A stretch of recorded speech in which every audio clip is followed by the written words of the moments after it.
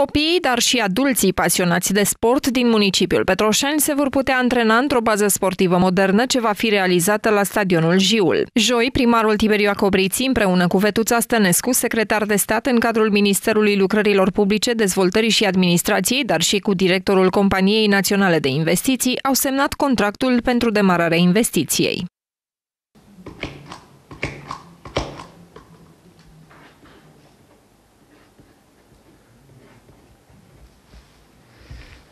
Bun. În regulă să fie într-un ceas bun. Să fie într-un ceas bun.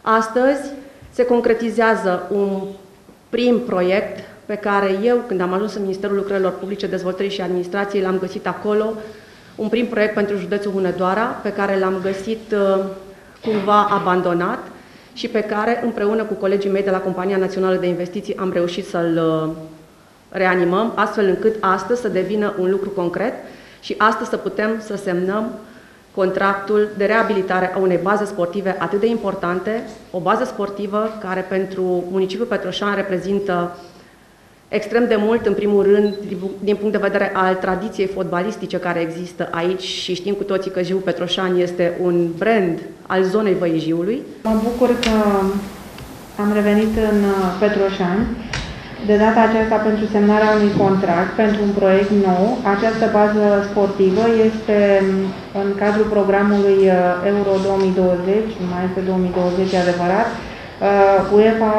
adică un angajament al României a fost construirea de 400 de terenuri de sport. Localitatea Petroșani a fost selectată de Federația Română de Fotbal și va beneficia în, într-un an de zile, cel mult, de o bază sportivă Uh, pentru antrenament uh, la cele mai um, înalte uh, cerințe, cu terenul de fotbal pe dimensiuni omologate, cu um, sediu administrativ, cabinet medical, vestiare și cu un teren mic pe zbură pentru handbal, basket, volei.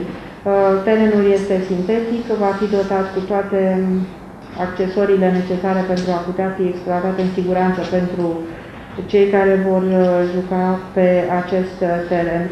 Eu spun că este foarte importantă din cel puțin două puncte de vedere. Unu, știți foarte bine, clima în Valea Jiului este așa cum o știm cu toții, 5-6 luni pe an avem sezon de iarnă, toamnă, deci cu ploi și atunci sigur că uh, terenurile pe care le avem acum de fotbal, arena, terenul 1 și 2, Uh, dacă plouă, se distrug în momentul în care intrăm și jucăm pe ele. Prin această suprafață artificială omologată la dimensiuni standard, care pot fi, poate fi folosită în competițiile naționale și chiar internaționale, e uh, mai mult decât uh, binevenită pentru baza sportivă de la Jiu Petroșani, iar pe de altă parte, la Petroșani, prin Clubul Sportiv Municipal, vom pune foarte mult accentul pe copii și juniori. Deci, o facilitate foarte bună pentru cei mici, o suprafață care se pretează uh, la acest tip de